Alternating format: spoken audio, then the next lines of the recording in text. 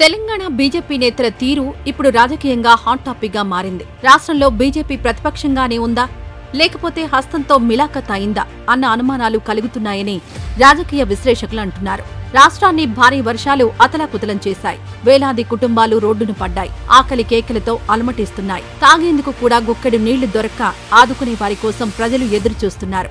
రాష్ట్రంలో ప్రస్తుతం విషాదకర పరిస్థితులున్నాయి. కానీ రాష్ట్ర బీజేపీ నేతలు మాత్రం అవేవీ పట్టనట్లుగా వ్యవహరిస్తున్నారనే మాట వినిపిస్తోంది.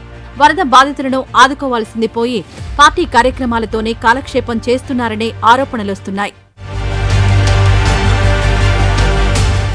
నాలుగైదు రోజులుగా వరద బీభత్సం కొనసాగుతుంటే ఏ ఒక్క బీజేపీ నాయకుడు బయట కనిపించలేదు. కానీ మంగళవారం రోజు పార్టీ సభ్యత్వ నమోదు కార్యక్రమం కోసం కేంద్ర మంత్రి రాష్ట్ర బీజేపీ అధ్యక్షుడు కిషన్ రెడ్డి బయటకొచ్చారు. ప్రెస్ మీట్ పెట్టి మరీ పెద్ద ఎత్తున సభ్యత్వ నమోదు చేయించాలని పార్టీ క్యాడర్కు పిలుపునిచ్చారు.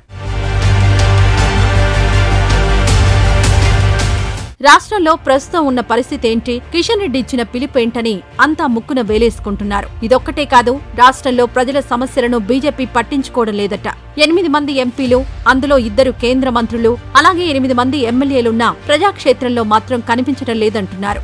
వరదల్లో చిక్కుకున్న వారిని రక్షించేందుకు హెలికాప్టర్ తెప్పించడంలో రాష్ట్ర సర్కార్ ఘోరంగా విఫలమైంది. కనీసం కేంద్ర మంత్రులుగా ఉన్న వ్యక్తులైనా జోక్యం చేసుకుని హెలికాప్టర్ రప్పించకపోవడంపై ప్రజలు మండిపడుతున్నారు. అందులో బండి సంజయ్ హోంశాఖ సహాయ మంత్రిగా ఉన్నారు. ఆయన తలుచుకుంటే కొద్దిసేపట్లోనే హెలికాప్టర్ రప్పించవచ్చు. అయినా గాని ఆయన పట్టించుకోలేదనే విమర్శలొస్తున్నాయి ప్రజలు ఇబ్బందులు పడుతుంటే చూస్తూ ఊరుకున్నారు తప్ప మానవతా దృక్పథంతో స్పందించకపోవడంపై సర్వత్రా ఆగ్రహ జ్వాలలు వెల్లువెత్తుతున్నాయి.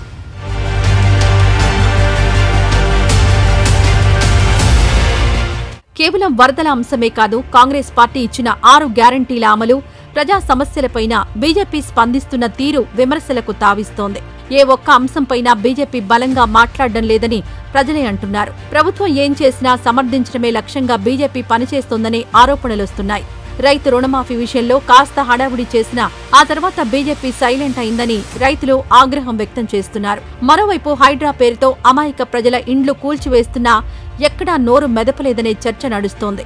గుళ్ళు దేవుళ్ళు అని మాట్లాడి బీజేపీ నేతలు ఆఖరికి గుడికి నోటీసులిచ్చినా మౌనంగానే ఎందుకున్నారనే ప్రశ్న తలెత్తుతోంది. పైగా హైడ్రా అద్భుతమంటూ బీజేపీలోని ముఖ్య నేతలు ప్రచారం చేయడంపైన అనుమానాలు కలుగుతున్నాయంటున్నారు.